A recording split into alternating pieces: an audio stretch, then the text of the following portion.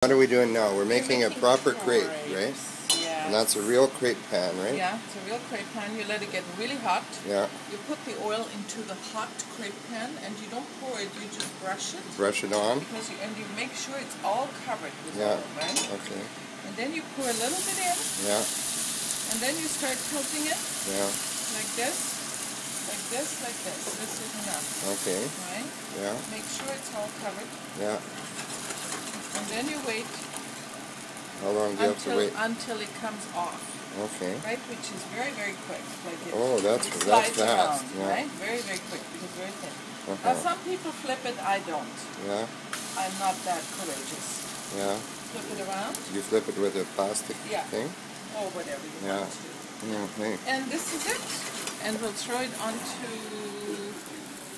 Onto a this plate. here, and then later on we'll stuff it, So that's how to make a perfect crepe. Perfectly. Every time. But the crepe pan has to be a special pan. Very hot. Yes. Very hot. Gas. And it's better on a gas stove. Which this looks like a monster gas stove, but yeah, sounds good.